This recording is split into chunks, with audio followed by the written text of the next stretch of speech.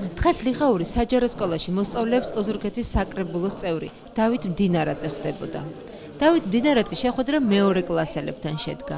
პროფესიით პედიატრი და ბავშვების დიდი მოყვარული დეპუტატი მნიშვნელოვან აუდიტორიასთან საჩუქრებით მივიდა.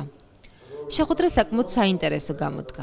განსაკუთრებით სახალისო იყო პატარა საზოგადოების შეკითხვები, რომელიც ძირითადად დავით მდინარაძის პროფესიას, მის ბავშვობას და ოჯახს უკავშირდებოდა.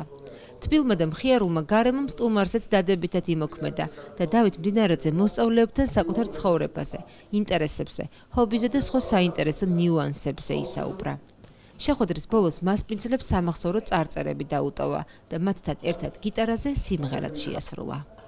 რაც ძალიან დიდი სიამოვნება მივიღე იმასთან დაკავშირებით რომ გავიცანე ბავშვები ძალიან საინტერესო შეკითხვები ჰქონდათ და ვთვლი რომ სკოლა არის ის გარემო ის ტაძარი სადაც ბავშვი ცოდნას ღებულობს და არა მარტო ცოდნას ის ღებულობს სკოლაში სულიერ საზრდოს და სკოლამ უნდა შეძლოს რომ მომავალი თაობა იყოთ ცოდნით დატვირთული, რახან მას რათა მათ არ გაუჭirdეთ მომავალი ცხოვრება, მომავალი მოღვაწეობა და ეს ცოდნა მაქსიმალურად უნდა წაიღოს ბავშვებმა სკოლიდან. პედაგოგებმა უნდა ეცადოს, რომ ეს ცოდნა ბოლომდე თავისი შრომა ბოლომდე გასწიონ და ეს ცოდნა მიაღებინონ ჩვენს მომავალ თაობას, რომელიც ასე სჭირდება ჩვენს ქვეყანას.